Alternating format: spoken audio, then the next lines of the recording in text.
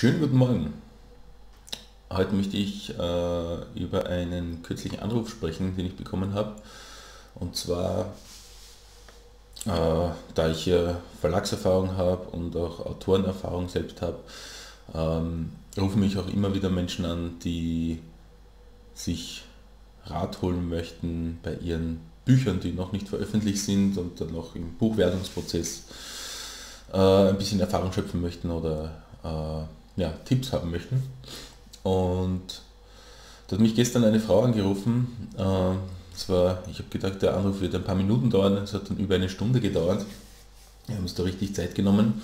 Und zwar ist es darum gegangen, äh, sie ist Architektin und beschäftigt sich mit dem, stark mit dem Thema, ähm, was Gebäude mit Menschen machen. Ja?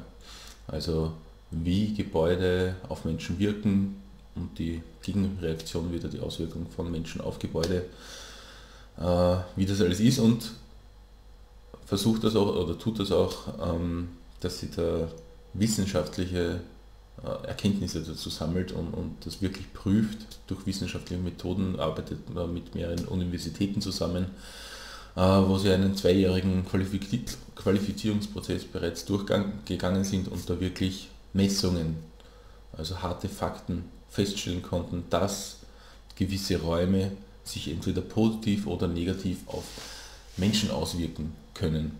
Und das weiß man ja auch schon aus, äh, das hat man in der Vergangenheit auch immer schon ganz bewusst eingesetzt in der Architektur, dass äh, Gebäude zum Beispiel auf eine Art und Weise konzipiert wurden, um den Besucher, also die Untertanen von mir aus äh, oder ausländische Staatsgäste einzuschüchtern ja, und den Bewohner dieser Immobilie oder äh, des Gebäudes oder den, Nutzer der Immobilie als besonders wichtige Person darzustellen. Ja.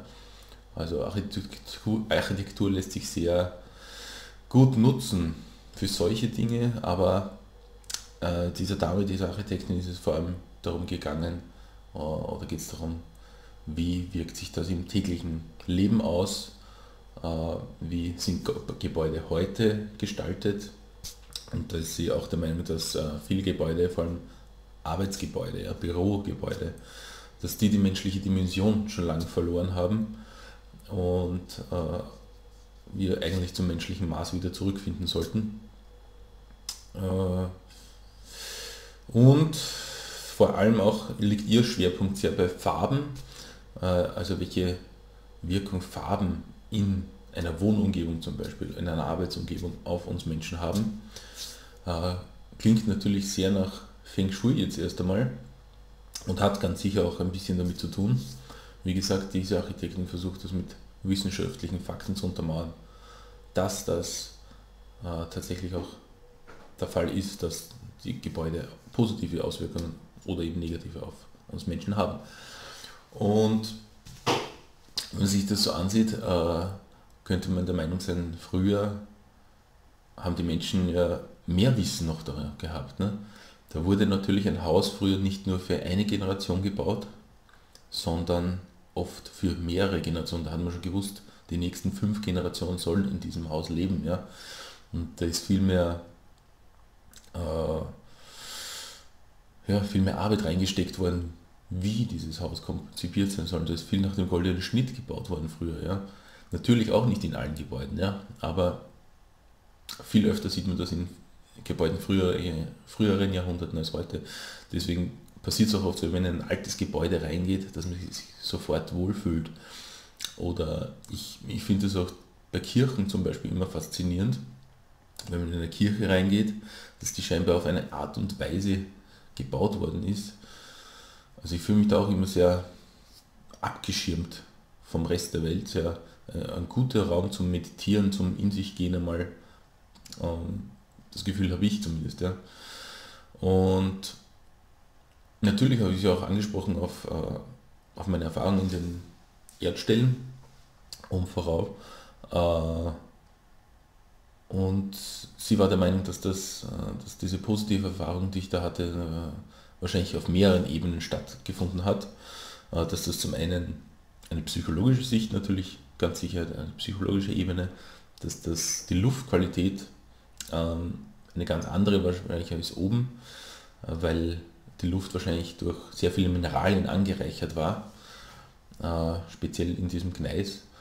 Und dann generell diese, das eben ihr Thema ist Farben, dass auch wieder diese Dunkelheit, dass, es, dass man so im Halbdunkeln geht und trotzdem aber den Ein- und Ausgang wahrnehmen kann, dass das eine, das schon alleine eine sehr starke Wirkung haben kann.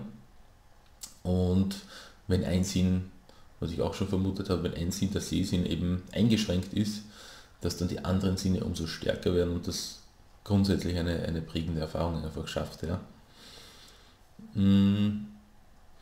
Ja, ganz interessant.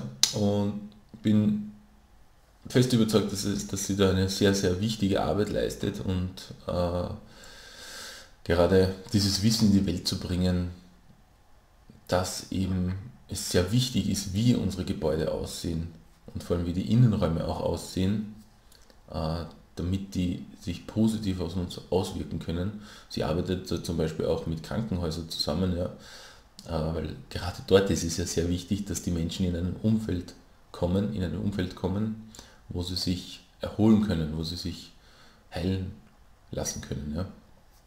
Und da können speziell Farben, wissen wir ja schon lange aus der Farbenlehre, dass zum Beispiel die Farbe Grün, die aus der Natur kommt oder Natur symbolisiert ganz stark, äh, dass sich die sehr positiv auf uns auswirkt. Ne?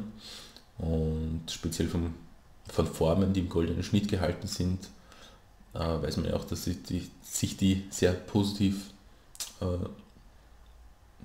ja, auswirken, aber vor allem, dass die sehr angenehm anzusehen sind für uns, ja, fürs Auge, weil das eben ein Abbild der Natur ist. In der Natur ist sehr vieles nach dem goldenen Schnitt, jedes Blatt ist nach dem goldenen Schnitt gestaltet. Und ja, einfach ein interessanter Gedankenanstoß.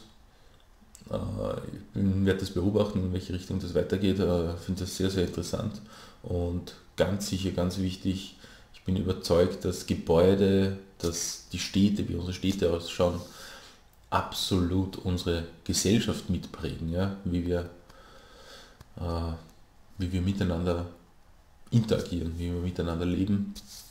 Und umso wichtiger ist es, dass wir die Räume, in denen wir uns täglich aufhalten, äh, entsprechend gestalten. Wie schaut es bei euch zu Hause aus? Eure Gedanken. Danke für euch. Ciao.